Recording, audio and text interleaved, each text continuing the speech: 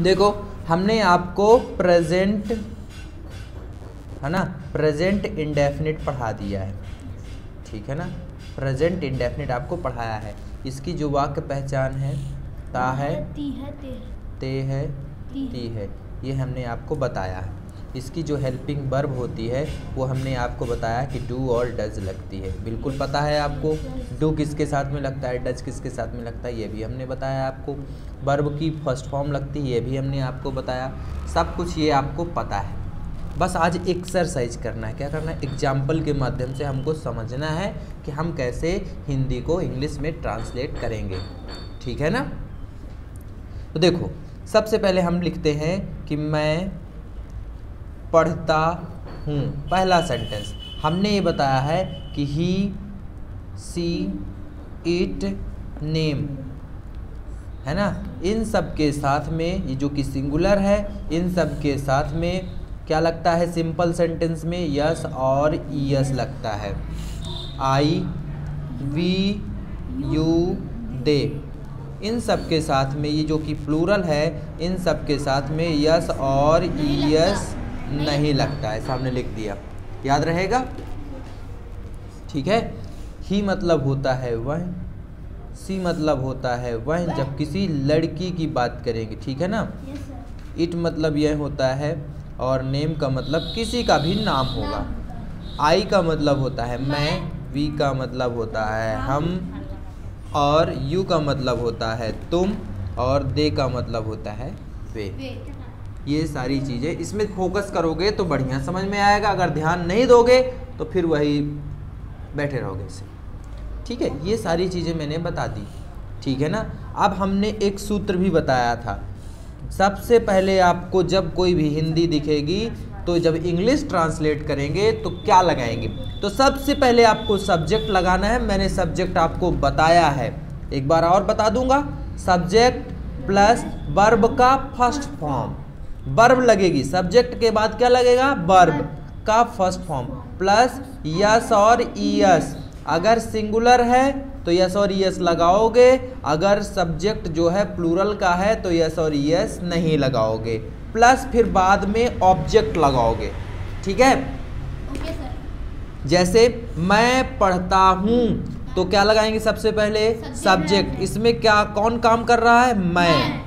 तो ये हमने आई लगा दिया। फिर क्या लगाना है? बर्ब का फ़र्स्ट फॉर्म क्या काम हो रहा है? पढ़ने का। तो R E A D. S और यस लगेगा क्या इसमें? तो हम देखेंगे आई तो आई के साथ में यस और यस नहीं लगता है तो नहीं लगाएँगे इसके साथ। ऑब्जेक्ट नहीं है तो नहीं लगाएँगे। आई रीड मैं पढ़ता हूँ। सिंगुलर है तो उसमें जब लास्ट मीनिंग लिखेंगे तो जी बताते हैं। देखिए जैसे आप पूछ रहे हैं डज है ना? और डू वो सिंगुल निगेटिव और इंट्रोगेटिव में है। सिंपल का सूत्र केवल इतना है कि आपको सब्जेक्ट लगाना है वर्ब का फ़र्स्ट फॉर्म लगाना है एस और एस लगाना है प्लस ऑब्जेक्ट लगाना है। और कुछ भी नहीं लगाना है सिंपल सेंटेंस है भी ये ठीक है? समझ में आया? अभी सिंपल सेंटेंस में कितना ध्यान रखना है? सब्जेक्ट और वर्ब और एस और एस प्लस ऑब्जेक्ट क्लियर हो? प्लस वर्ब का। First form S E S सब ऑब्जेक्ट पर बिल्कुल। जी। वह लिखता है। है। लड़का है कोई? है ना? वह लिखता है। ध्यान दो इसमें। वह लिखता है। सिंगुलर का है? है सिंगुलर एस और यस लगेगा? लगेगा। तो क्या हो जाएगा? He he W R I T E write और यस लगा देंगे, क्योंकि सिंगुलर है। याद रखो इसको। छोटे छोटे समझा रहा हूँ अभी। ध्यान दोगे तो सब बनेगा। साइलेंट ठीक है ना? वह लिखती है। वह है, लिखती है।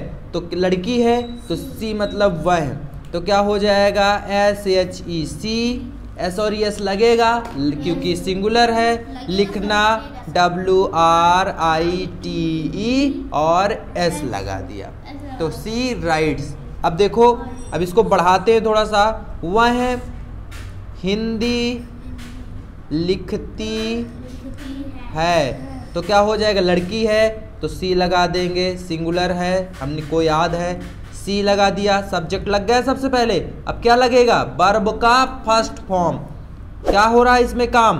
लिखना। लिखने का काम। तो W R I T E और एस और यस लगेगा कि ना लगेगा? क्या लगेगा?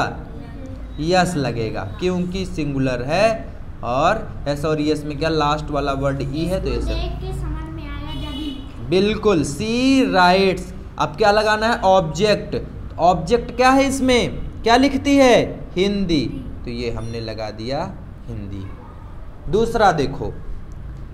वह है, बनाता है। वह बनाता है। तो सिंगुलर है ना? है सिंगुलर तो क्या लगाएँगे? ही फिर बनाना। तो मेक ही मेक वह बनाता है। यस और यस लगेगा कि ना लगेगा? लगेगा। क्योंकि सिंगुलर है तो यस लगा दिया हमने। ही मेक्स अब हमने कहा कि वह मिठाई मिठाई बनाता है। बनाता है। तो क्या हो जाएगा? ही लगा दिया सिंगुलर है। बना फिर क्या करता है? सब्जेक्ट लग गया? फिर क्या लगाएँगे? वर्ब का फ़र्स्ट फॉर्म क्या काम हो रहा है इसमें? बनाना। तो यम ए के ई मेक फिर क्या लगेगा? यस और ई एस में क्या लगेगा? एस लग जाएगा। ही